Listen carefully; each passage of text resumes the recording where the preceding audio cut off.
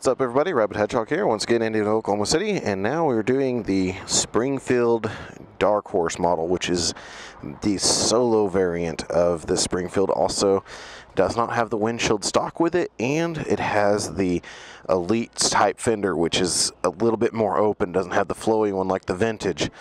So taking a little bit of things and changed them around, definitely all blacked out here all LED back in there. And of course the one touch saddlebag pop open. This is a 19 model. Beautiful looking machine. Giant freight train headlight on the front of that. Blacked out headdress. Of course the big floorboards. No heel toe once again. Now this one does I have remote locking saddlebags course, it's got the standard on button there. Of course, it does have all the information there. You got your trip one, trip two, tachometer, voltage, air temperature, average miles per gallon, range of fuel, regular odometer. Of course, you have your gear indication. You have your fuel gauge, clock, and you have your side stand warning. You have your bright, your chassis warning, left, right, TPMS system, neutral, and ABS. So that's actually really cool. Big analog fuel gauge up there. Starter button over here on the side, just push all the way down on that. Of course, cruise control, press in. You'll get the indication there. When you set it, it'll have the little arrow one.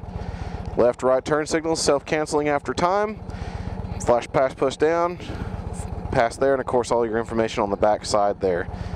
Alrighty, and then fog lamps up front. I'll go ahead and start those off. Alrighty.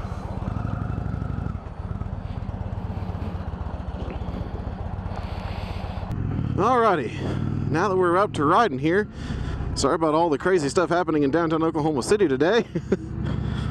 fun stuff happening. So there's a bit of traffic, bit of things to cut through there. Now we're through that. Now we can cruise a little bit.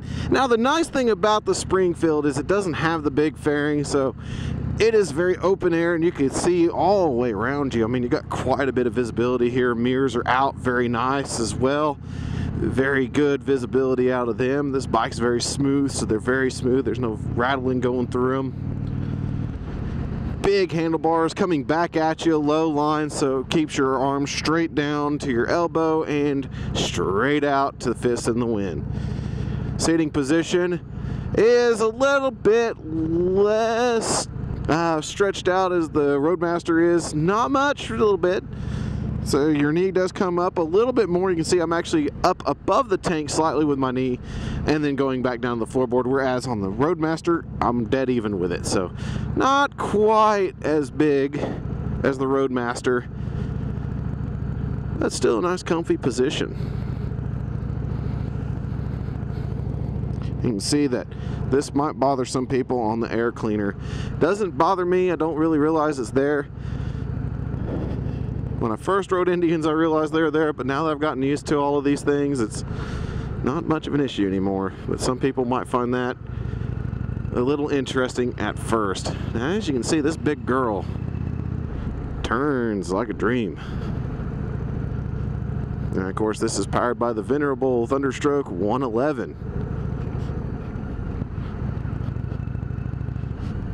And still that same monoshock rear end Indian has come to be known for on their big touring bikes.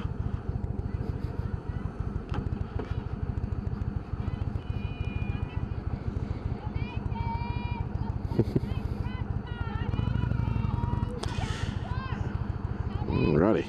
So this is cable operated clutch once more. Cable operation, very light on the touch still.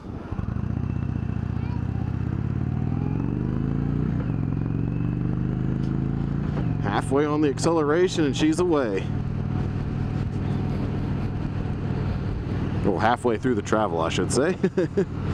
now here we go back into some of these tighter turns again. Got to be ready for the floorboard to scrape. Got pretty close, but dodged the hole and pulled out of that. But handles really well for such a big bike. Oh, Alrighty, already up in sixth gear. There we go. So this bike is going to be squarely pointed at Harley Davidson's Road King Special.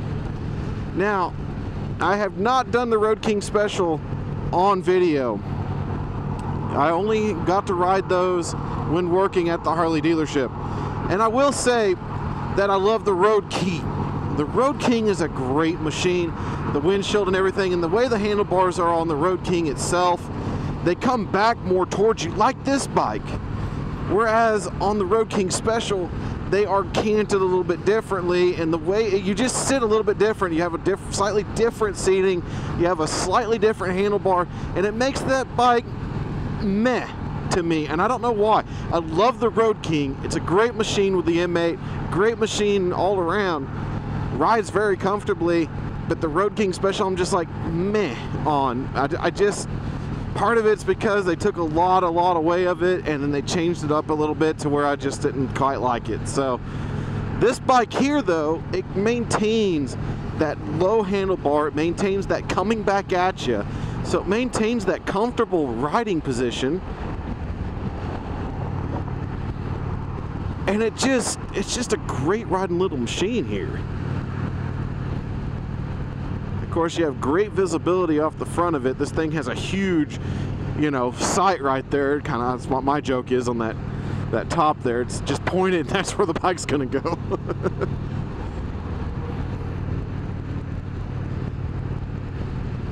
but it rides so so well. I mean, it's got a very smooth engine. The 111 is a very very good engine for touring. It's not like overly powerful. It's not something that's gonna tear you apart or anything like that, but it is a great cruising motor.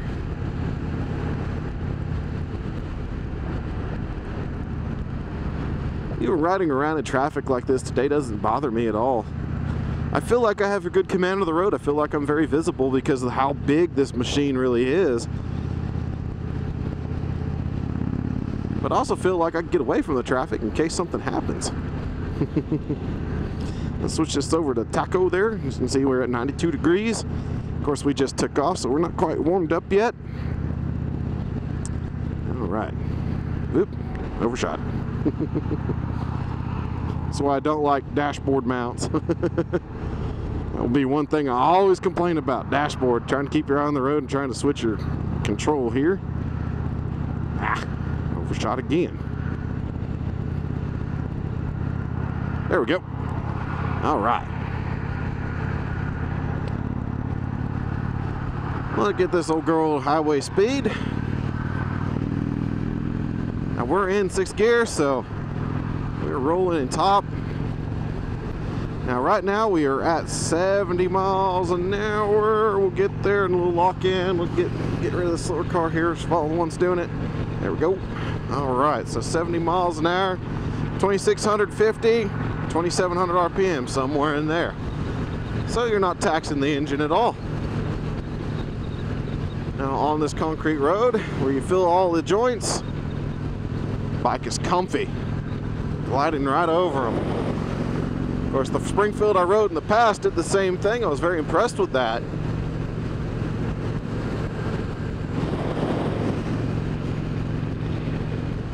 The chassis engineers for Indian do a very good job, an impeccable job at these motorcycles. For them to be so big, but so they're just so balanced and so well sprung, you got to give them credit. The Polaris knew what they were doing when they hired these engineers.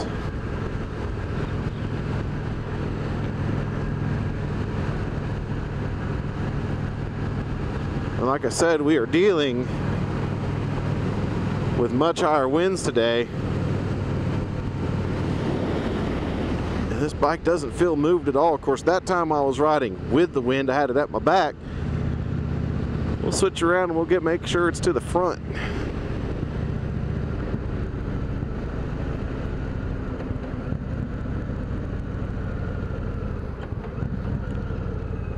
Engine braking, as always, fantastic.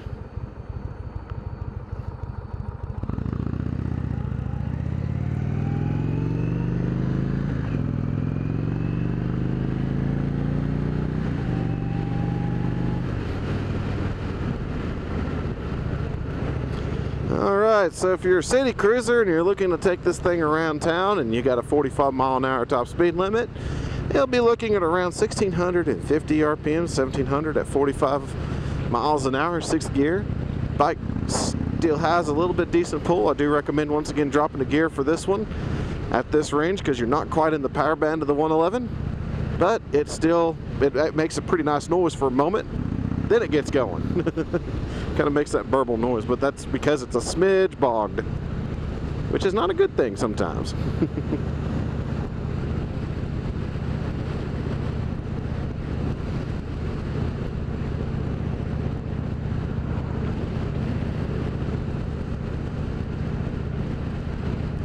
So even with the side winds I've got right now, not really being blown around that much.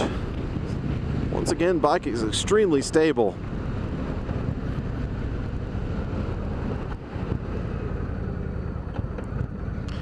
This bike is so well balanced. I mean, right now I'm coming to a stop. Now I'll put my foot down. I mean, you can sit there and if you wanted to, you could bounce it out a little longer. You sit there and if you're wanting to play with the wheel a little bit, you can keep this thing balanced for a while. Such a well-balanced machine. Wells, it's, it just wears the weight very well. And the center of gravity on this bike is nice and low, so it keeps much of that weight down there so when the rider's added to it it just balances it versus makes it even more top heavy. Makes for a good stable riding platform. And once again like the other touring bikes of the line this bike is very flickable. Now I will say this this is kind of funny to me. I think the Roadmaster probably because the rake and the way it is has a little bit faster steering than the Springfield now this bike is that long, low, you know, that long, low cruiser look, but the, the Roadmaster big dresser. But this one here, it does steer a little bit more lazy because the rake is a little bit different on it. A little bit different combination, always changes a little bit off. And that's kind of a funny thing to note. This bike is definitely lighter, definitely, you know, definitely not as big, but definitely well balanced, but definitely slower steering.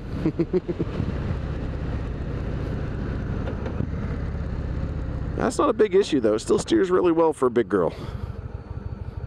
Like I said, the brakes are great on this bike. They work bite perfectly whenever you go onto it, both front and back.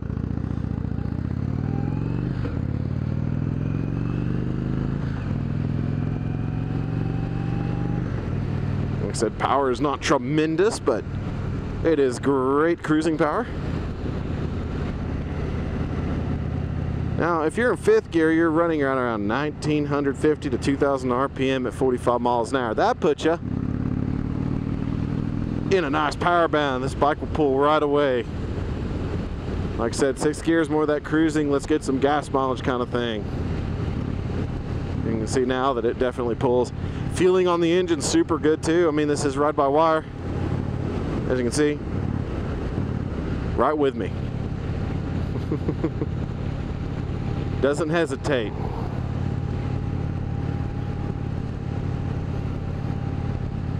Like I said, the suspension on these bikes are so good.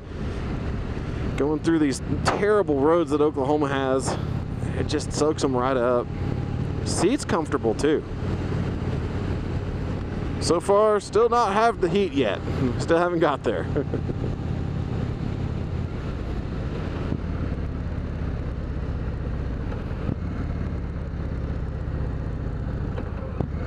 doing this all engine braking right until this then. So engine braking is very good.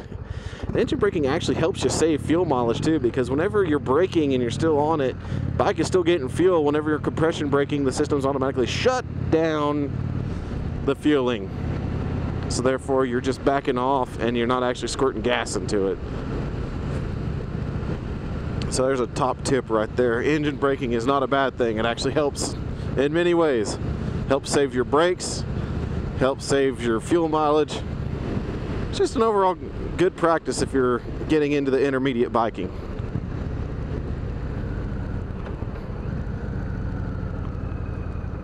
Alrighty, pump. Even over that big hump, didn't nearly feel a thing. Alrighty.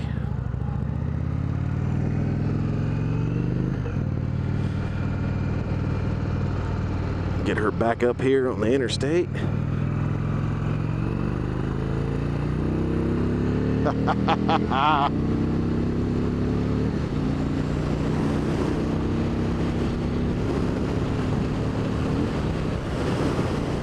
she definitely has tremendous pulling power to get on the interstate.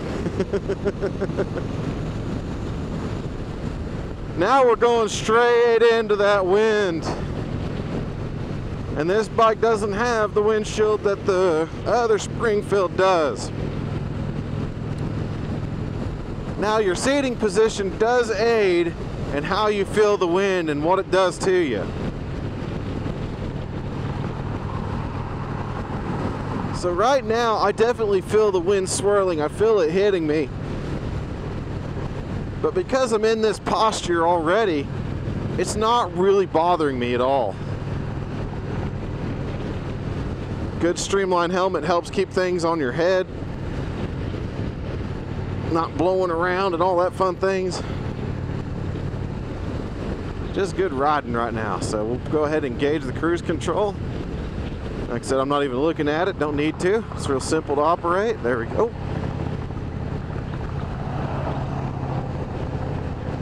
Try to be respectful to your people doing road work and all you get is people running you over. It's just not a fun day.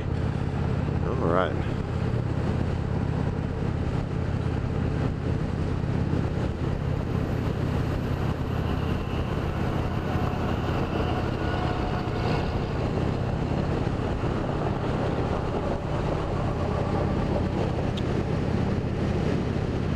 Now even with the turbulence and side blast and everything of that semi, it didn't really move this bike at all.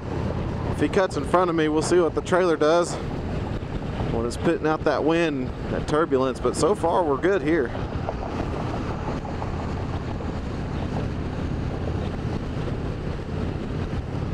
Like I said, we're going over these horribly broken roads.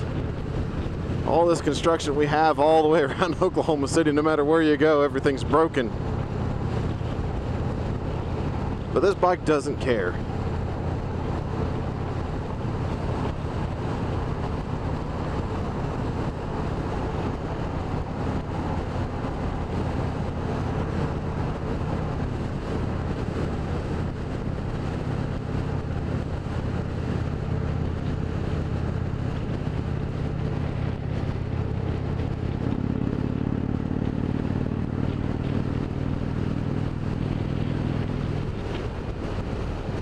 Alrighty.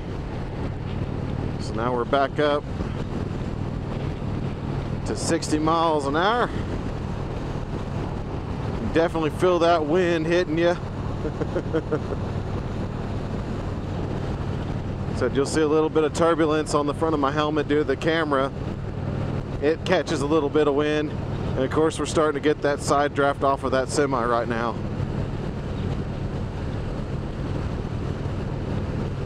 It really, like I said, despite not having that windshield or anything, it still rides very well. I would say that if you get the windshield, it'll help, but it's not a necessity. Especially today, we're what? Let's see if I find that air temperature again. 92 degrees. so when we're this warm, it's not a, it's not a bad thing. Have a mesh jacket, and good wind flow. And I mean, the thing is, you can purchase the quick release windscreen. You can see it has the docks. It's very similar to the Road King Special in that uh, regard that it already has the hardware pre-existing. All you gotta do is buy the shield to put it on there and it will dock on there.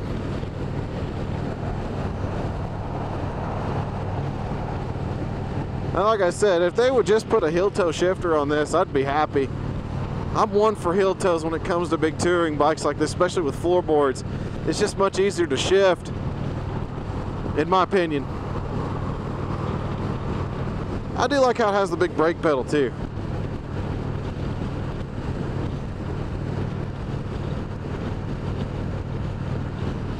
But as you can see, it just rides so comfortable. And I mean, you can see that there's not really much wind blast terrorizing me or anything not really moving. This thing just has such a commanding presence on the road, such a stable presence, such a well-balanced chassis that even massive winds and side blasts and semis and everything going by, it doesn't really bother you at all.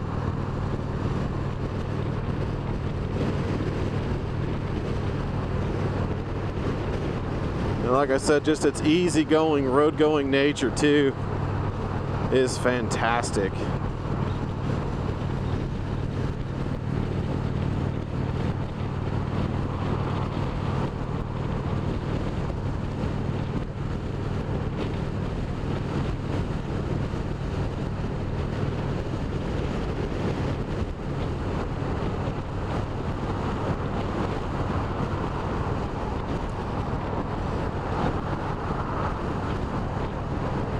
As you can see, I've gone completely quiet because I'm just enjoying the ride. Now, everybody else doesn't want me to enjoy the ride, I guess. uh, peoples. Peoples. Can't we all just cruise and get along?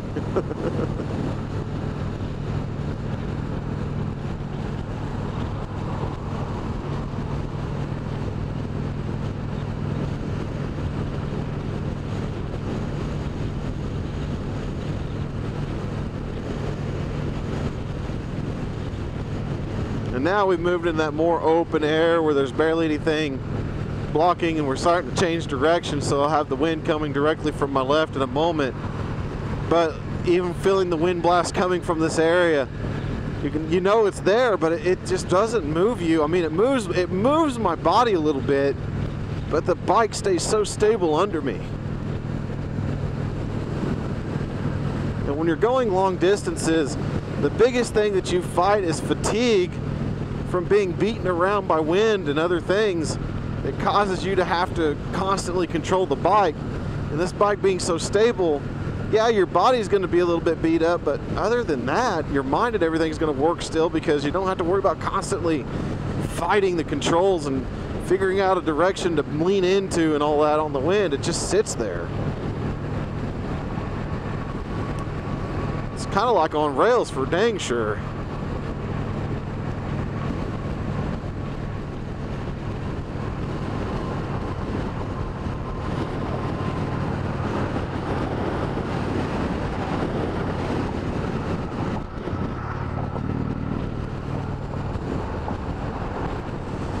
And even in traffic, it's super easy to get around on because you can see everything.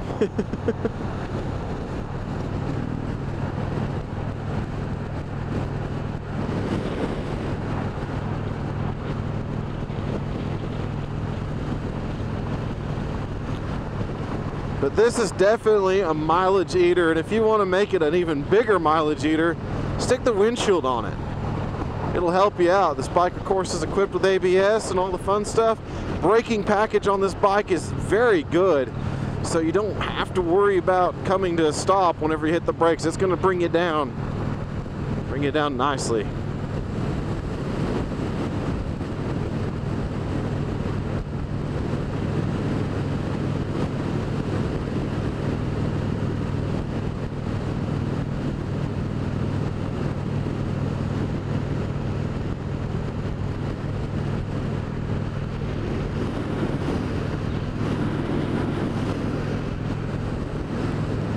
And as you can see, just riding around even in this traffic laden city, it's an easy to get along with bike. So if you're looking, if you got one of those longer commutes, you're looking for a good bagger, so that way you don't have to carry a backpack with you all day and all that, and you want to replace the car, get the gas mileage, it's a great place to be. Ample size saddlebags can carry some decent stuff very easy to ride, very easy to get in and out of traffic with, has good power to pull away at the stoplights, good power to maintain highway speed if you got those longer distances to go. Good stop and go power, everything is great for this kind of bike. And plus, like I said, if you want to make it a touring bike all the way around the country, throw a windshield on it. That's all you got to do. Got a passenger, yeah, you'll need to get your, your passenger seats and everything, but this solo seat, nice, plush, comfortable. So if you're just riding by yourself, it is a great, comfortable place to be. So at any rate, I want to thank Indian of Oklahoma City again for letting me take out the Indian Springfield. Like I said, uh, it's been a bit since I've rode the Roadmaster Springfield combination since they first came out, to be honest. And uh, of course, this is just a new iteration of the uh, Springfield with the Dark Horse model. And this one, of course, has a little bit different suspension setups, different setup than the uh, original Springfield I rode but it is a great riding machine still. Even without the windshield, it rides perfectly. I like the looks of this one because it opens up that wheel. Not big on the 1940s flared fenders. I do like the chopped up fenders a little bit better. Uh, that's just my opinion, my, my way I like looks. But this is a great, great riding machine. Yeah, a little bit on the expensive side, but it rides very good. It's going to last you a good long time too. And overall, man, if you're looking, like I said, to replace that car, you're going to save on gas mileage. That's for dang sure. So at any rate, this is the Rabid Hedgehog. If you have any more questions about the Indian Springfield Dark Horse, let me know. And once again, thank you to Indian of Oklahoma City at 7 Northeast 10th Street in Oklahoma City. Great place to go to if you're looking for a bike. Great people to work with. At any rate, keep that shiny side up, folks. Have a good one. We'll catch you on that next review.